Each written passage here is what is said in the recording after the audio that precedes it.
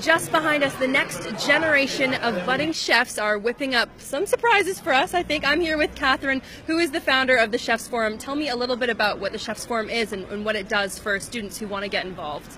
Well, it's great to be here in Bristol today because this is where we actually started the Chefs Forum eight years ago. Um, so we've got Weston College and City of Bristol College students all working in the kitchen today and out front serving beautiful canapes of which you've been trying.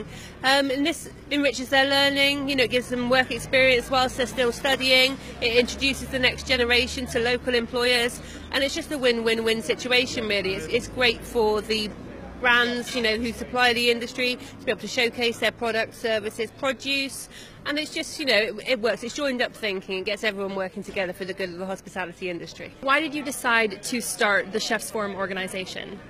Well, there were a few of us sitting around a table about eight years ago and discussing the fact that the industry needs to be more joined up, needs to communicate better.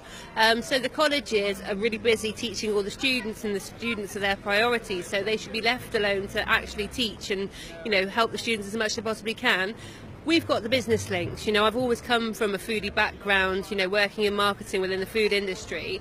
And, you know, we had those business links. So to be able to bring those business links into the college for the good of the students and the lecturers that are there, plus then introduce the brands that are also trying to service both the professional chefs and the colleges, you know, and create a platform for everybody to just network together. It just seemed, you know, just a, an easy win-win situation for everyone involved. And I've met students who have actually helped out at events just like this.